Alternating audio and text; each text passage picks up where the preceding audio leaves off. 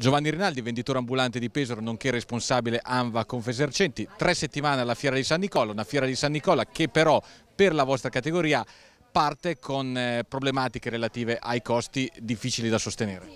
Esatto, è una fiera molto molto costosa, tipo la mia bancarella che ha 8 metri per 4, quindi 32 metri, linea, 32 metri quadri, paga circa 540 euro, che diviso tre giorni fa 180 euro al giorno.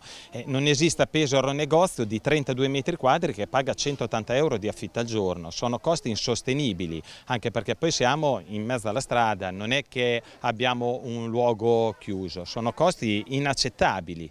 Però da, noi abbiamo protestato con Pesaro Parcheggi, non, a quello che a vedere non, non gli interessa. Questa è una situazione che può portare a qualche stallo inoccupato o anche a ambulanti che preferiscono concentrarsi su altre fiere rispetto a quella pesarese?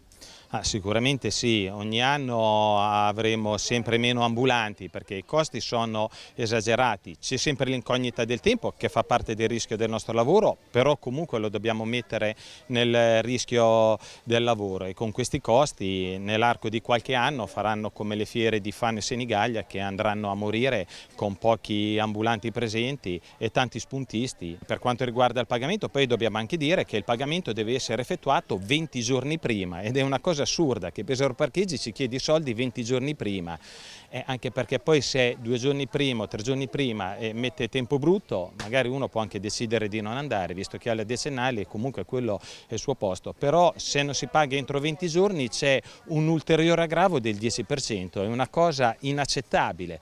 Però ripeto, Pesaro Parcheggi non gli interessa assolutamente le nostre proteste, avevamo fatto proteste anche l'anno scorso e ci hanno detto che c'erano costi per il personale per controllare il Green Pass ed è venuta la metà della gente. Non è che se in questi dieci anni non hanno aumentato i costi eh, va bene, sono stati sempre cari, ma nell'ultimo anno dove sono aumentati i costi eh, dell'attività, i costi per l'acquisto di materie prime, è inaccettabile che non ci vengano incontro neanche con una minima riduzione.